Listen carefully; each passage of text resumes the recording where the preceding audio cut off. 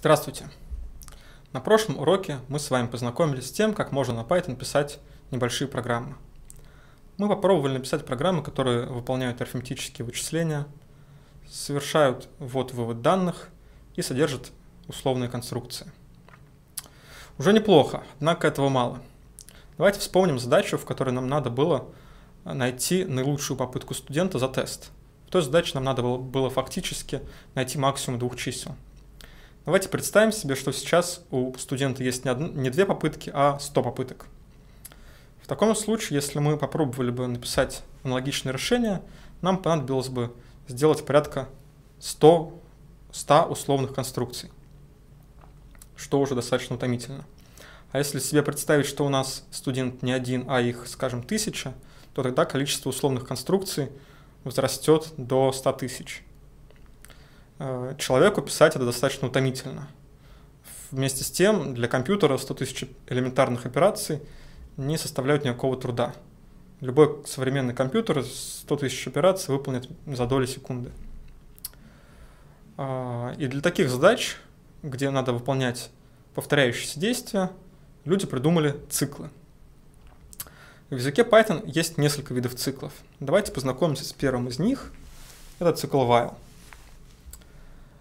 А, цикл while выглядит следующим образом. Это цикл с предусловием. А, цикл while содержит сначала ключевое слово while, затем некое условие, которое будет проверяться каждый раз перед тем, как цикл запускается. И, собственно, цикл содержит некие действия, которые выполняются в цикле. Эти действия, в данном случае это две операции, вместе называются итерация цикла. Таким образом, цикл повторяет итерации. В данном случае итерация состоит из двух команд, вывод числа и уменьшение числа на единицу. Давайте посмотрим целиком, как это все работает. В этом примере мы хотим вывести числа, все целые числа от 5 до единицы. То есть 5, 4, 3, 2, 1. Для этого мы завели переменную а и записали в нее значение 5. Дальше цикл будет выглядеть следующим образом. Мы будем выводить число а и уменьшать его на 1. Будем делать это до тех пор, пока а больше нуля. Таким образом, мы написали здесь условие. Продолжать цикл до тех пор, пока а больше нуля. У нас есть переменная а, в которой записано сейчас значение 5. Как происходит работа цикла? Сначала осуществляется проверка – что условие верно. а равно 5, 5 больше нуля, значит условие верно. Переходим к операциям внутри цикла. Выполняем первую операцию, print a, выводится пятерка, после которой ставится пробел. Мы используем параметр end, которому передаем значение символа пробела – для того, чтобы э, значения, которые мы выводим, были разделены не переводами строк, а пробелами. Таким образом, результат, вывод всех значений будет находиться в одной строке. После вывода числа мы уменьшаем значение а на единицу. Таким образом, а становится равным 4. Первая итерация цикла закончилась. После этого происходит возврат к проверке условия. Проверяется, верно ли, что условие все еще истина. В данном случае а равно 4, и 4 больше, чем 0, то есть условие верно. Вновь выполняются обе команды. То есть выводится значение а, текущее значение, которое сейчас равно 4, и значение а уменьшается на единицу, то есть а становится равно 3. Дальше снова переходим к проверке условия. 3 больше нуля. Выводим значение а, то есть тройку. Уменьшаем значение а на единицу, а становится равно двойке. Вновь проверяем истинность условия. 2 больше нуля.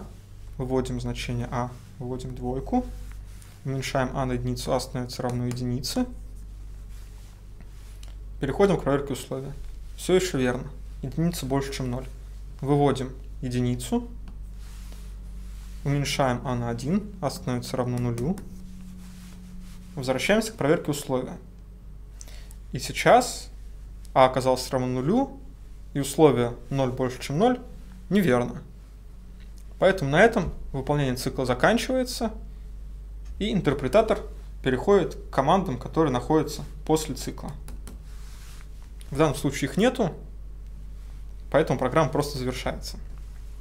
В результате у нас будет выведено вот такой результат. 5, 4, 3, 2, 1. Все операции, которые выполняются внутри цикла, мы записываем, э, используя отступы. Одинаковые отступы.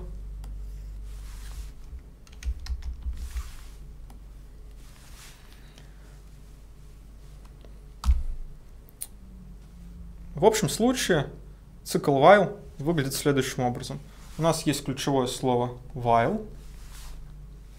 У нас есть некое логическое выражение, которое проверяется перед каждой очередной итерацией. И итерация выполняется только в том случае, если это логическое выражение истина. Внутри цикла может быть произвольное количество действий. Эти действия могут содержать условные конструкции могут содержать внутри себя еще дополнительные циклы. Как правило, логическое условие вот это вот содержит какие бы то ни было переменные. И эти переменные меняются внутри цикла. В противном случае у вас это условие будет всегда постоянно, то есть либо у вас оно будет ложное, и цикл вообще ни одного действия не сделает, либо условие будет истинным, тогда цикл будет бесконечным. Как правило, мы этого не хотим. Поэтому в большинстве случаев в условии каким-либо образом, явно или неявно, фигурирует переменная, которая меняет свое значение внутри цикла.